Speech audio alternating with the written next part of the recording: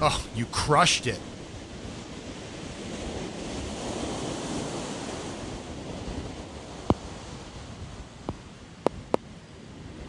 That's a huge drive.